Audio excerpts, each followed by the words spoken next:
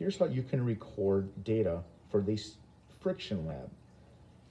You will need a LabQuest device hooked up to a force sensor. If your force sensor is reading anything but zero, please zero it before you begin. Click on your screen and click zero. It should then read zero. We are now calibrated to perform our experiment. The goal is to move this brick along this path until we get to the end of the board. You want to record, click on play, and it will record your data for 10 seconds. And then I will show you how to analyze the data off the LabQuest. Start pulling the brick, pull it at a constant speed until you get to the end.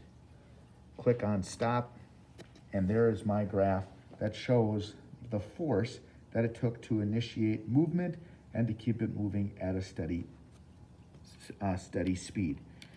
The next thing you will do is analyze your data. To analyze the data, we first want to highlight the section of the graph that we want to analyze. So I want to analyze this first part of the graph because that's the force that it took to get this thing to move. So I click on Analyze, and then I go to Statistics and click Force, and it gives me my maximum value. The maximum value was 8.37 newtons. That's the amount of force it took to get that brick moving. Then what I'm gonna do is I'm gonna read the rest of the graph where it was moving at a relatively constant speed. So I wanna go do the same thing, click on Analyze Statistics, select Force,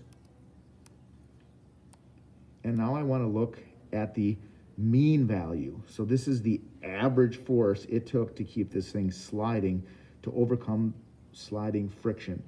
So the answer for this is 7.28 newtons. So again, analyze, select force, and you want to use the statistics as a way to measure how much force it took to keep that thing in motion. Good luck.